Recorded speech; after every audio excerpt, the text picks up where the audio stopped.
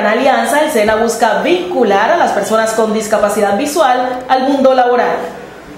El SENA busca fortalecer la formación para el trabajo de la población discapacitada visual y baja visión a través del programa Agora Colombia. La idea es que a través de el Instituto INSI eh, se favorezcan programas para la formación académica y de alguna u otra manera estas personas realicen procesos que les permitan un desarrollo de sus habilidades y sus potenciales que de alguna u otra forma también puedan eh, generarle habilidades para la vinculación a nivel laboral. Esta iniciativa busca mejorar la empleabilidad y productividad de las personas ciegas o con baja visión. Aquí nos estamos concentrando en, las personas con baja visión eh, y que sufren de invidencia para que de alguna u otra forma eh, se les permita a través de instrumentos y herramientas tecnológicas eh, generarse habilidades para, el desarrollo de sus, de sus actividades productivas. Por lo anterior, durante varios días en las instalaciones del SENA Regional Chocó se realizará una reunión que incluye a la comunidad con incapacidades mencionadas y a empresarios. Es que todos estén presentes y hagan parte de la mecánica de, este programa para poder eh, vincularse laboralmente a las entidades, negocios y organizaciones que residen en nuestras localidades.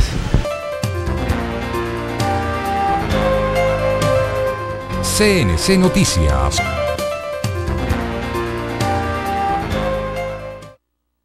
En el marco de la conmemoración del Día del Reciclaje, la Secretaría de Medio Ambiente Municipal viene realizando campañas que lo que buscan es que aprendamos a cuidar a nuestro entorno.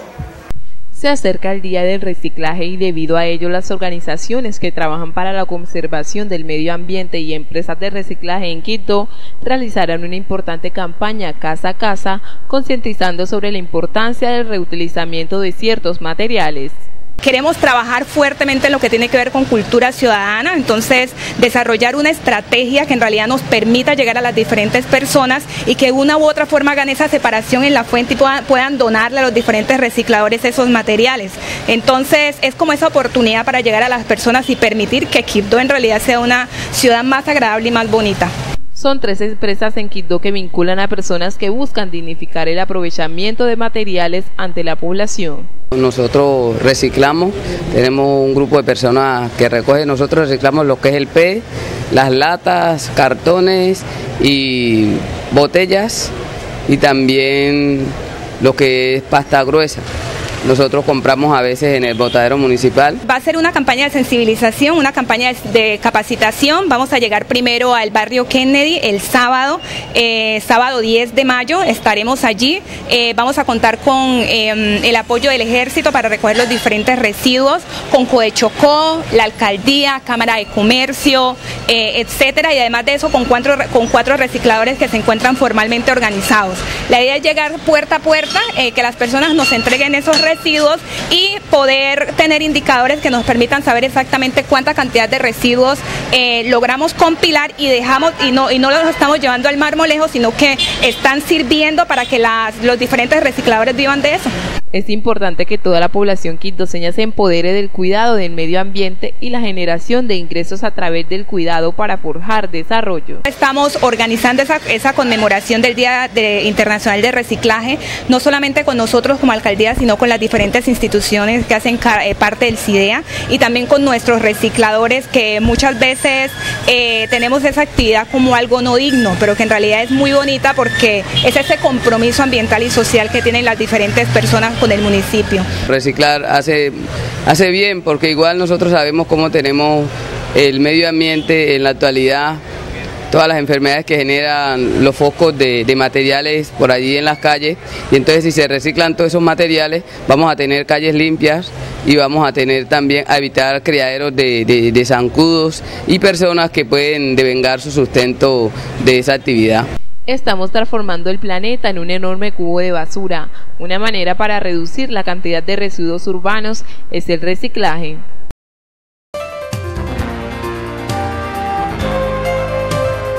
CNC Noticias.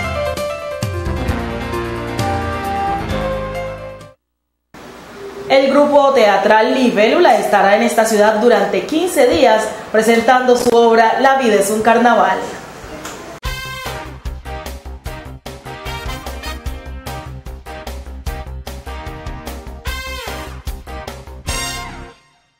Arrancó en la ciudad de Quito el proyecto Escuela de Familias para Vivir con Bienestar, presentando la obra de teatro La vida es un carnaval que trata temas relacionados con la problemática familiar, sus roles, relaciones, convivencia, sexualidad y derechos. La familia en Colombia pues se ha descompuesto de una manera pues terrible. Eh, hay mucho alcohol en la familia, hay mucha violencia intrafamiliar, pues las relaciones se han vuelto bastante conflictivas al interior de la familia y pues los niños y las mujeres están sufriendo pues el flagelo de la violencia a consecuencia pues de, este deterioro de la familia. Entonces nosotros estamos haciendo una campaña eh, a través del Instituto Colombiano de Bienestar Familiar y la Fundación Plan que se han propuesto pues a través del arte como la tarea de lo que ellos llaman el edu entretenimiento, que es eh, educar y entretener a través del arte eh, buscando digamos como recuperar el sentido de, de la vida en la familia. El grupo teatral La Libélula Dorada es el encargado de concientizar y visibilizar a través de un acto con marionetas sobre la importancia de los valores como el respeto que poco a poco se han perdido en nuestra sociedad. Para nosotros es una oportunidad maravillosa, aunque ya durante tantos años de trayectoria solo habíamos tenido la oportunidad de venir una sola vez acá a Quibdó eh, público que nos encanta, que nos parece bastante receptivo, muy ávido de, de, nuevas cosas y de tener esta experiencia con el teatro de títeres.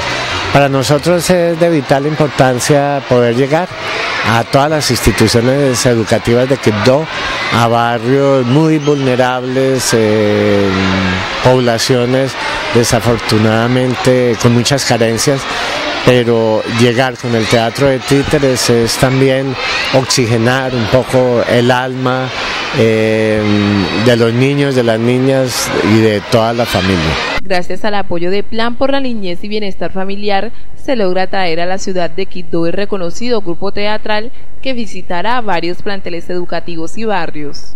Bueno, la idea es que esta obra le llegue fundamentalmente a la familia, eh, es decir, que pueda asistir el padre, la madre, eh, los, los, niños en general, eh, todos los que están involucrados di directamente, digamos, con, con, la familia.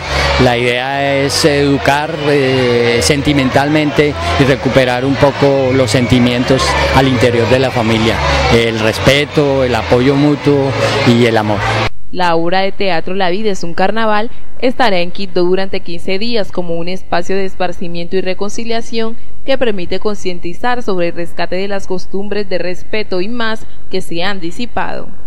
¿Y ahora qué jugamos? ¡Ah, los carritos! ¡Ay, no! Mejor juguemos a la guerra. ¡Ay, no, Lolo! Ese juego es muy brusco y usted siempre me gana. Ah. ¡Ay, Lili! Entonces juguemos a bandidos y policías. ¡Ah, no! Porque a usted nunca le gusta hacer de muerto y siempre quiere hacer de policía. ¿Qué va? Ay, Lili. Entonces, al papá y a la mamá. ¡Ah, no! Porque usted siempre llega borracho y me pega. Además, no le gusta cambiar pañales ni darle tetero a las muñecas.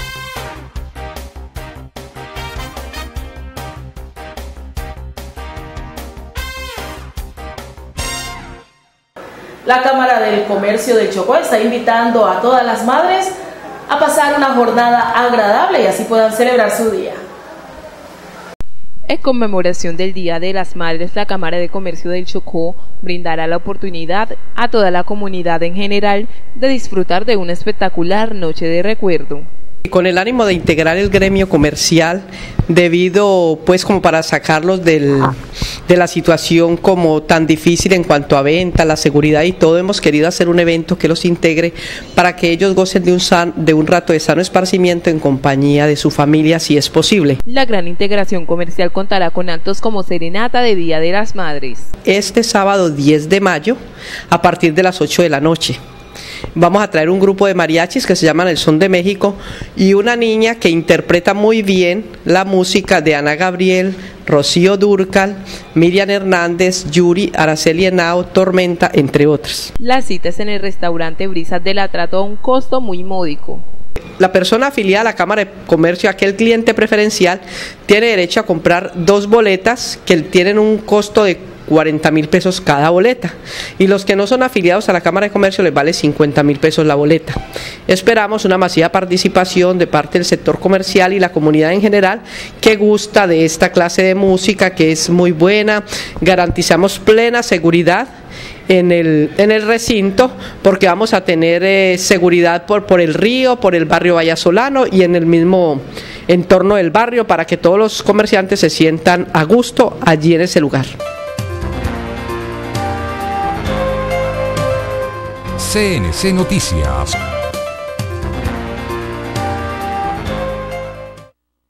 Quédese con nosotros que en breves instantes regresamos con más aquí en CNC Noticias.